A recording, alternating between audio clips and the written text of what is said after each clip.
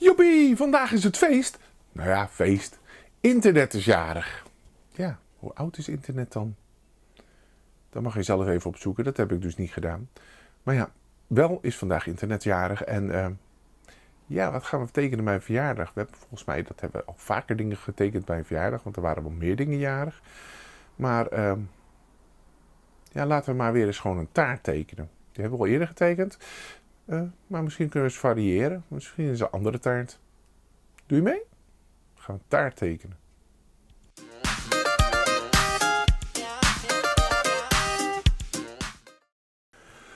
Ja, vandaag is het uh, internetjarig. Ik denk, ja, we kunnen wel weer taart tekenen. Dat gaan we niet doen. We gaan geen taart tekenen. We hebben al zoveel taarten getekend. We tekenen een laptop.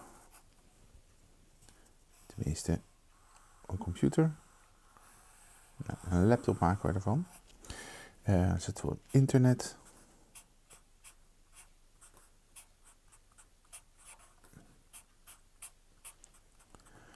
Zo. Het wifi-teken. Vind ik leuk. Een beetje online, hè? Internet. Internet moet je online voor zijn. Uh, toetsenbord.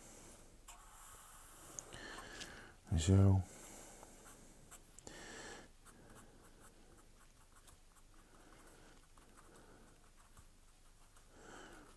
Toetjes, zeg maar. Goed, en dan, uh, ja, wat houdt dat internet in? Hè? De verbondenheid met elkaar. Nou, e-mail, contact met mensen. Tekenen we zo mensen. Um, gesprekken. Een spreekwolkje, zo, met tekst erin.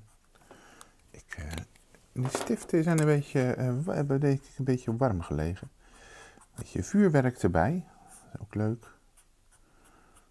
Zo.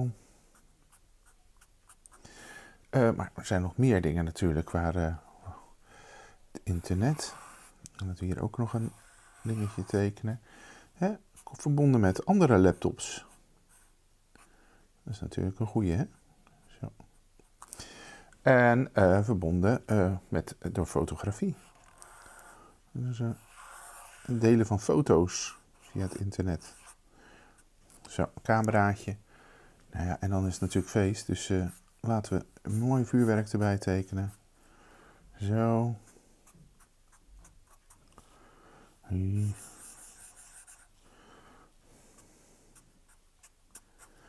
Nou, is het internet jarig of is het niet jarig? Nou, ik vind zo is het uh, een feestje. Uh, ik zou zeggen, ga zelf iets tekenen wat te maken heeft met internet. En uh, dan zie ik jullie morgen in de volgende video. Tot morgen.